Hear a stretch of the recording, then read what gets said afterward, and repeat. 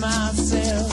I'm a man of will and taste. Uh, Intercultura has been here for 23 years and its primary goal has always been to foster language learning in a really culturally enriching environment by offering not only language classes but also cultural activities and trips.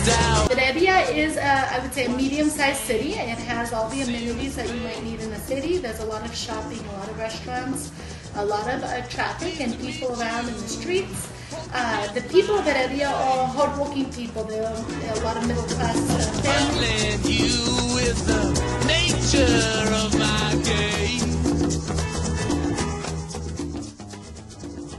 Heredia is the is known as uh, flowers city because we have a lot of uh, nature here in the city and around, and our people is really nice, really gentle, and we say vida.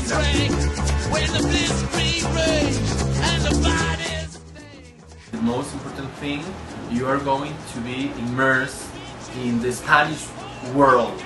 I love helping the students. I uh, speak English and Spanish, so I like to be able to use that skill that I have to assist the students in any of the uh, problems they might be having culturally or if they're struggling with anything, uh, to be able to communicate those type of differences. for pretend caves for the God save me. I shouted out. Oh, super, super friendly. I mean, I was nervous coming in. It's very being judged, don't judge you. Whatever level you're at, they have something for you.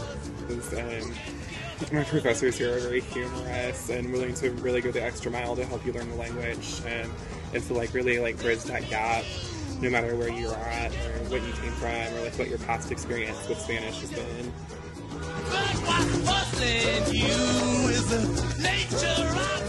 Um, I would definitely recommend Intercultura to another student, especially because uh, I guess just because of the full immersion process that they have here, um, it's a lot easier to pick up on lingo uh, when you're using it day to day around you with everyday people and living. Everybody around you um, only speaks, you know, the language you're trying to learn. It's just kind of like you get thrown in and you have to learn to adapt. Like you don't really have a lot of other options. I, I definitely think that in my time here, I've become a lot more proficient than I would have anywhere else I could have studied. Oh, I love, I love, I love host family.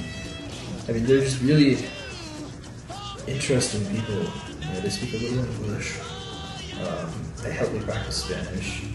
Um, they educate me about you know, customs here, so I feel like I have an anchor. I'm not totally lost deeply invest in your success. Just call me Lucifer, cause I'm in need of some restraint.